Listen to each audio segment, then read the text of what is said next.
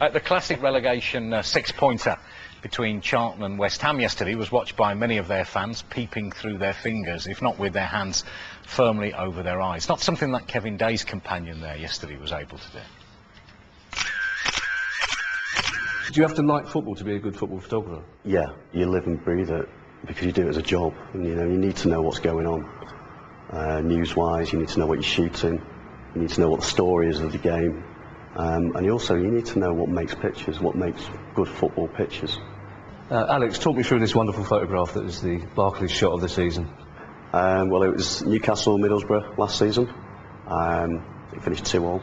This is Yakubu scoring the uh, first goal for Middlesbrough to make it 1 all. Given is looking at the ball, you know, dejected, hitting the back of the net, and Yakubu's wheeling away to celebrate. It just shows what football's all about. There's a saying in the business that you're only as good as your last picture. Well, if you're only as good as your last picture. It's a fantastic one, and which is why it's been awarded the Barclays shot of the season. Thank you very and much. I'm very happy to give it to you now. It's fully deserved because it's a fantastic photograph. Thank you very much. So we're off to Charlton West Ham today. It's a very big game. Big story of the day is obviously the managers. That, that's going to be the main focal point. So what you really need is red cards, punch-ups. Definitely don't want a nil-nil, dull, boring draw. That's that's for sure. Yeah, I've got a feeling that's what we're going to get though. So you're in position early. Why this particular spot?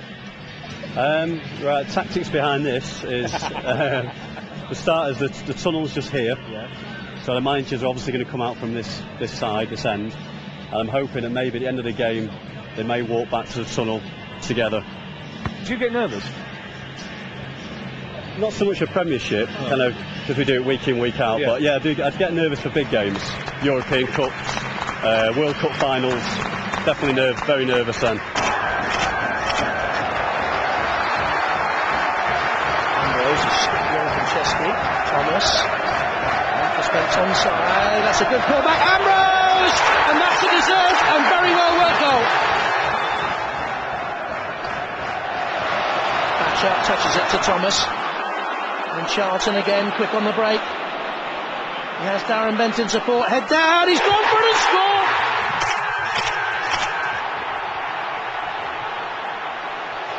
Jimmy Floyd Hasselbaink strong in the challenge, and Darren Bent's onside. This could be 3 0 before half time. It is! The home side can now break. Ambrose. To run at Konchesky. In towards Thomas! Oh, that is a beautiful goal! Is there a way back for West Ham from this? Do you get a, a, a sense for how the game is unfolding while you're looking through a lens? Can you get a sense of the whole picture of the game? I got an idea that was at the wrong end in the first half. we felt for you until that fourth goal went in because we were right at the other end, so yeah. wishing the ball down this end. But that That's the way it goes. Yeah. It's the way it goes. You know, you you think you make all these plans and all these decisions before the kick, uh, kick off. You never expect it to be 3 0 at half time. Who's that chap over there who's looking That's Mark, he's our picture editor. Right. Um, he's busy sending the pictures while I'm shooting during the game, so I can concentrate on taking the pictures and he gets them out to the newspapers. Is there an image there that you thought stood out when you were taking it? Um, it was difficult. I know the managers were going to be a big story, so Yeah. it's been it was difficult to get them both together because they were so far apart. Yeah. Um, but we got I've got some dejection of Curbishley, not looking very happy. I've got some pictures of Pardew looking thumbs up, looking Yeah. happy. So we've, we've got some good stuff. What's next for you now? I, I'm actually off to Cardiff. You've officially got the best job in the world, haven't you? you and Adrian Chiles have the best job in the world. You won't believe me if I say it's hard work. the mates don't.